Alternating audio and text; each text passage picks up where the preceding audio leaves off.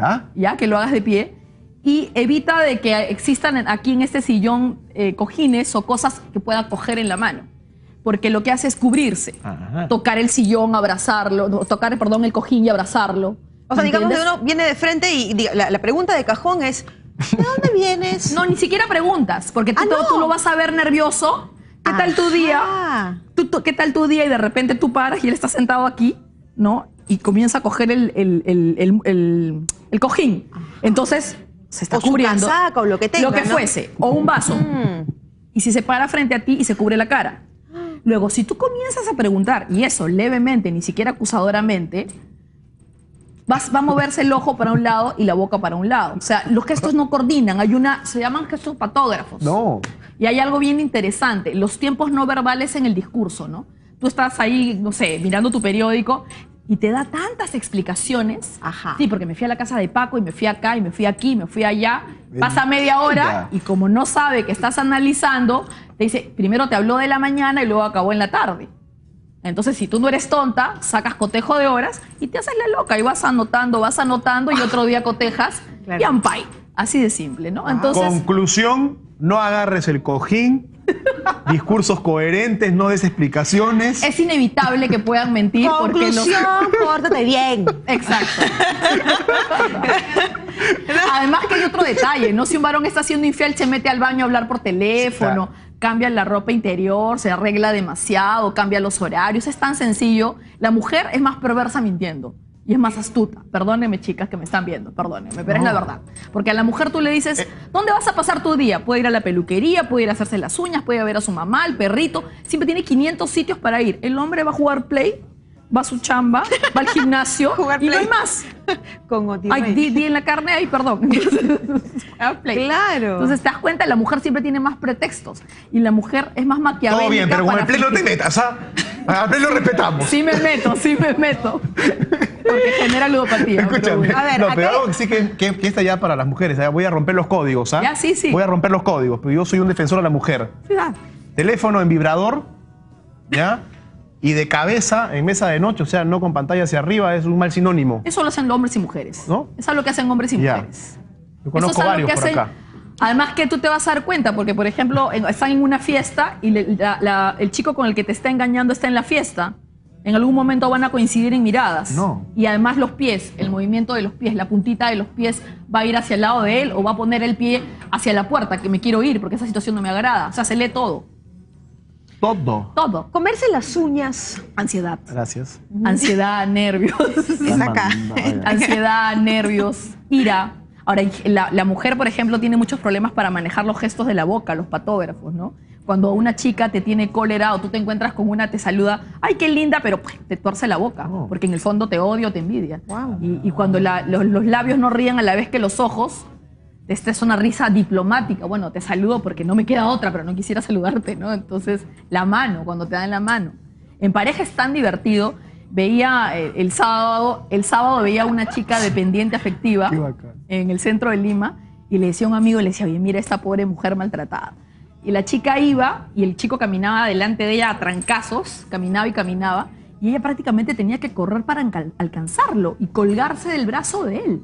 Wow. Entonces yo decía, Dios mío, qué, qué, nivel de maltrato tan alto y esta, ¿qué le pasa? ¿En qué, qué día perdió la dignidad? Acá hay otro interesantísimo. Mira, jugar con un lápiz, por ejemplo. Ah, ¿no? con los estás hablando, lápices. estás hablando y tienes el lápiz aquí No, o tienes el celular. Es que depende, porque si tú estás solo y estás trabajando, creando, es porque estás pensando. Ajá. Pero si estás en una reunión y en una negociación, pues hay gente que hace esto con los bolígrafos, le da, le da Sí. clic Sí, al, sí, sí, sí, a la Es- cosita de arriba. Exacto. Ya allí hay ansiedad, pensamiento anticipatorio. Quieres que acabe rápido y tú quieres dar tu opinión.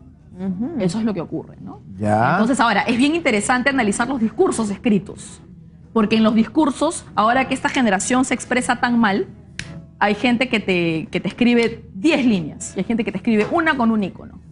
Ahí ya te está comunicando su falta de responsabilidad emocional y su falta de fuerza emocional para ser profundo. Es una persona que no va a dar mucho a nivel humano. No es evasivo, lo que se conoce como personalidad evasiva. Esto de las redes sociales es genial, ¿no? Porque cuando quieres gritar, eh, escribes en mayúsculas. ¿No? Una cosa, pero de locos. Sí, pero depende, ¿no? Entonces ahora esto se estudia, se utilizan recursos humanos, selección de personal, ¿no? Ya otro día vamos a venir a hablar de la letra, que también es tan Ah, también, no sé tanto. sí, claro, ya, yo- y por ejemplo, este, ¿qué más se puede leer? Por ejemplo, ya estábamos en los colores, decíamos que los colores variopintos, ¿no? el tono de voz, por ejemplo, hay un Ya. color que se ha estudiado que contribuye a la depresión, que es el uso del plomo. Esta gente que se pone esos plomos pálidos, así, que parecen los hijos de la lágrima, caminando todos tristes, con lima con frío, todos plomizos, ¿no? Se hizo un estudio en Europa hace mucho tiempo y en Estados Unidos con pacientes que tenían problemas de depresión y utilizar más tiempo este color les generaba mayor depresión. Entonces, es un color que puedes combinar, pero todos los días de plomo es un poquito Y un- cargante. Y un color que la gente, que la gente acepte o que la gente guste, porque yo, yo imagino que, ya que hablabas de campañas políticas y bla, bla, bla, y eso, que a veces también este, los candidatos eligen el color o, o de, de- de la campaña de, de acuerdo a la, a la Es que a nivel, afinidad a con nivel la logo, gente. eso sabemos que tiene que ver luego con la publicidad y el marketing político. A nivel logo, generalmente lectura, impactan ¿eh? dos colores. Más de dos ya es guachafo y no solo guachafo, te distrae la vista. Lo ideal es que sean dos colores yang, dos colores fuertes, ¿no? O una- un color oscuro con uno claro, ¿no? O dos colores oscuros, pero siempre en los logos, para que queden este, presentes en la, en la mente y en la retina, tienen que ser dos colores yang, que son colores fuertes. Rosa María, a mí se me ocurre también otra, digamos, manera de poder aplicar los gestos en la vida cotidiana. Si conocemos a una persona, ¿no? ya sea un hombre o una mujer, porque también a los hombres les pasa de repente de toparse con la mujer equivocada y que después esa Sí, mujer se convierte en una pesadilla para ellos. Por supuesto. Entonces, si estamos conociendo a una persona, nos interesa, nos llama la atención, qué sé yo, eh, ¿cómo podemos hacer, por ejemplo, para identificar, esta pregunta es puntual, que no sea de repente una persona muy, eh, con un temperamento demasiado fuerte, o una persona obsesiva, o una persona, no sé, con- Obsesiva. eh, sí, eh, eh, que, que explote. Bueno, de- vam- ah, es- eso es una muy buena pregunta. Número uno, ahí vas a tener que analizar reacciones.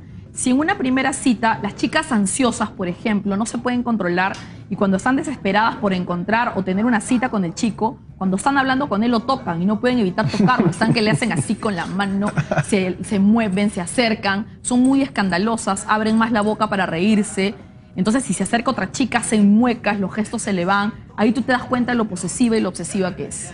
Si, por ejemplo, tú le mandas un mensaje a la chica, el muchacho le manda un mensaje, ella te contesta 10 seguidos, No. ¿no? Te contesta 10 o 6, y ahí te das cuenta lo, lo- lo ansiosa y viceversa, y viceversa. Ahora, tú por el tono de voz te das cuenta los prejuicios que tiene la persona, porque de repente tú estás trabajando y le dices, llámame en un ratito que estoy ocupado, ocupada, ah, ya, y se molesta. Entonces ya, ya, y tú te das cuenta que tiene mil problemas y que no capta, ¿no? Que no capta el mundo moderno del trabajo porque no es capaz de preguntar qué estás haciendo. Te podría decir, ok, perdóname si te estoy interrumpiendo, luego conversamos. O por ejemplo, tú estás resfriado, ¿no? Tienes una mala... Dices, "Aló", porque estás hasta el 100 con el resfrío. Entonces te dice, ¿estás molesta? Y tú dices, no, estoy resfriado. Entonces ya, ya está armando la historia en la cabeza Ajá. porque tiene problemas con el prejuicio. de- inseguridad también. Claro, entonces, este, o, o contestas dos líneas, ¿no? ¿Qué estás haciendo? De repente estás en el taxi, estás manejando. Te estás cambiando. Lo no que sé. sea, pero contestaste dos líneas, porque y todavía has tenido la, la- la bondad de contestar, pero ya te están catapultando con que eres fría. Entonces, y no pasa por ahí. Entonces hay que aprender a tener un dominio emocional para poder comprender la comunicación no verbal. Ujú. ¿Ok? Ahora, eh, bueno, ya será motivo de, de ampliarlo en otra oportunidad, Rosa Sí, María. Cecilia, tendrás yo que venir. quería invitar a la opinión pública, ya que me estamos hablando de estos temas. Bueno, tengo tres eventos pronto para todo el Perú, los invito. El 21 de agosto arranco un diplomado de lectura de rostro, que es otro tema que otro día vengo a hablar aquí. Lectura de rostro. Solo de Morfopsicología. rostro, Es solo de un rostro. diplomado de dos meses Pero- donde van a poder aprender a negociar, van a poder a manejar ventas, van a poder aprender la mayoría de rasgos de rostro que tienen que ver con el proceso de comunicación. ¿Ok? Esto arranca el 21 de agosto. Pueden comunicarse a resurge.consultora.gmail.com o a llamar al 990-294-748. Ese es un evento. El segundo, el 27 de este mes, el sábado a las 7 de la noche, voy a estar en el stand 104 de la Feria del Libro, firmando mis libros para todos mis lectores. Y el 22 de noviembre tengo un evento para todas las parejas, invitadísimos ustedes, que se va a llamar Amores de estos tiempos. Eh, las entradas van a estar a la venta en punto ticket de Ripley, donde voy a tocar todos los conflictos de pareja más comunes para gente que tiene pareja, no tiene pareja. Son cuatro horas de coach, dos de preguntas del público y dos de coach. Caramba. Así que todos esos eventos tengo para este año. Están muy interesantes todos Muchas y te gracias. No. Rosa María. Hay que ir.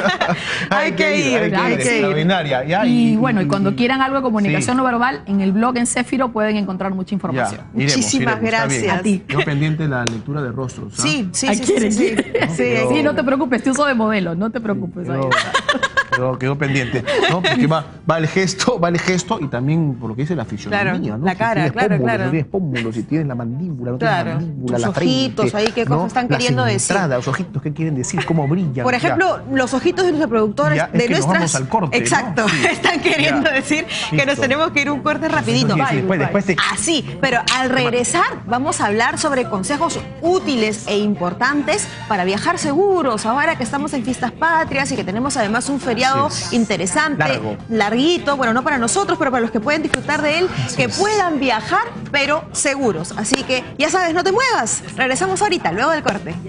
Desde Sevilla hasta Nueva York.